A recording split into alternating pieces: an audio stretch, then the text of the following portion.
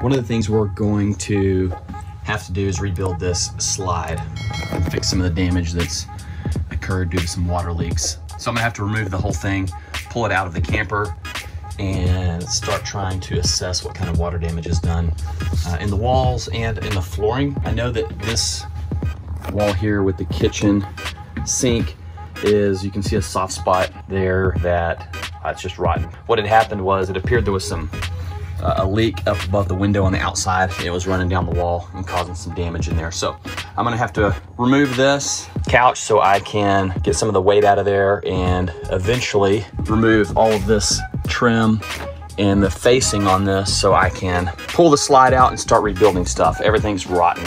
And you can probably see under there what kind of mess we're looking at. So this is probably gonna have to all come out to at least to the range over here and we'll see how that goes. So on the bottom of the couch, there are these fasteners that go across this front. It's more like a trim piece that just kind of hides all the mess up under there. So we're gonna pull this off and see what we can expose underneath there and see what we need to do to get the couch removed. I'm making a little progress here. I had to unbolt these two cushions, the back and the bottom from this little scissor bracket here on the side. It just has two nuts on each one uh, on both sides. I mean, this thing is completely rotted out. I don't know what to do about getting this fixed. Nothing will really slide and everything's rotten. So I'm gonna try to fit it back together and see what I can do to get that rolling the way it needs to. But that's just kind of a little update to where we are right now. I've unbolted this scissor bracket here from the bottom of the from this base. So I should be able to, you can see there, get this entire thing out, which will expose this whole piece here. So I have the brackets out now and you can really see what kind of damage we're looking at here. We've got a significant slant here where stuff's just rotted out the weight's pushing down on it. You can see the water damage back there. And then even over in here, that drops off, you know, a good inch, inch and a half. And then you can see additional damage back there where things just aren't, aren't jiving with all the water. I think most of the damage, water damage is gonna be on this half. I'm not sure yet. We're gonna rebuild the whole thing best we can. And I know we're gonna have damage through this wall, so we'll be taking this stuff out shortly as well to expose some of that. Like I mentioned earlier, I've gotta figure out how to remove this and all of this trim up here. That way I can unbolt everything underneath with the motors and everything under here and then take this entire slide out, brace it up, put it on some, got some damage there. Uh, put it on some soft sawhorses and start rebuilding stuff. So that's what we're doing. Gives you a little bit of an idea of some of the damage. So this side is really compromised and you can see that's somewhat level. You can see how this piece here is really slanting towards the back where that's all just started coming down and all of this is just rotten. I need to figure out exactly what supports this and how it holds each other, uh, how it holds up. I need to undo or detach the electric slide motor and all this good stuff. Figure out exactly what I need to do to get the slide out so I can get some dimensions on what would actually fit back in here and try to get things squared up before I start building it back. So that's where we're at right now. So I slid this back in best I could everything kind of ripping apart. And I was just looking behind this little piece of trim here at, they got some square head, whatever you want to call those, square head fasteners that affix the slide out to this two by or whatever weird size it is.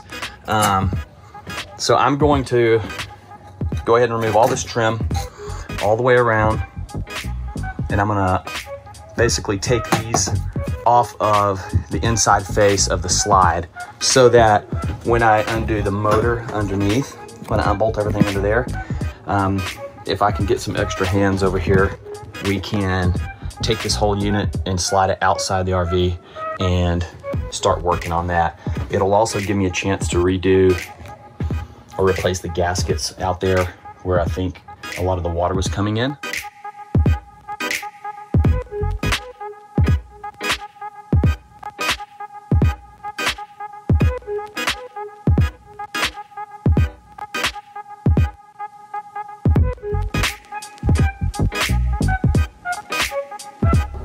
Okay, I think I have those completely unbolted. Let's go ahead and see if we can pull these off and take a look at what we have. So that was towed in. That one's going to be as well.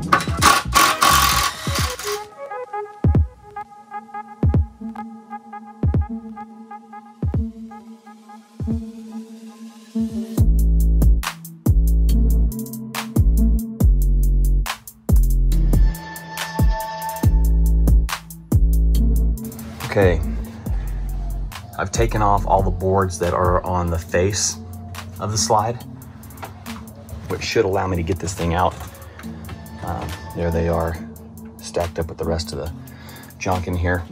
So, a couple observations. I still need to get everything unbolted underneath where the motor is. The top of the slide is also this EPDM rubber membrane that probably needs to be replaced as well. Unfortunately, I had a bunch of scrap or excess left over when I did the roof that I threw away. So I don't have any of that, which would have been perfect. I didn't realize it. I wasn't paying attention. Whatever the case may be, I don't have it anymore. So I'm gonna have to order some or get another uh, material for that, but I'm sure I'll just end up ordering a small length of it if I can find it and throw that up there. So again, we're gonna go ahead and see if we can get the motor the mechanics unbolted under here. I have a couple of sawhorses that I'm gonna try to take this thing out and then lay it on uh, to give me room to kind of work on it as well as access the damage that's under here. I wanna repair that, which probably means this wall as well uh, while this is out. So I'm gonna try to have a quick turnaround on that in a few days if possible. That's the goal. So the slide is about ready to come out. I just need a pair of extra hands to give me a little backup. I got the sawhorses and everything set up the best I can. I think I'm gonna go ahead and start removing the sink and cabinets here, as well as the cabinets up top. I felt a little bit of soft paneling and wood up here, so we're gonna make sure all that's good to go. And I'm gonna get all this removed, and that's gonna be the next thing on the list.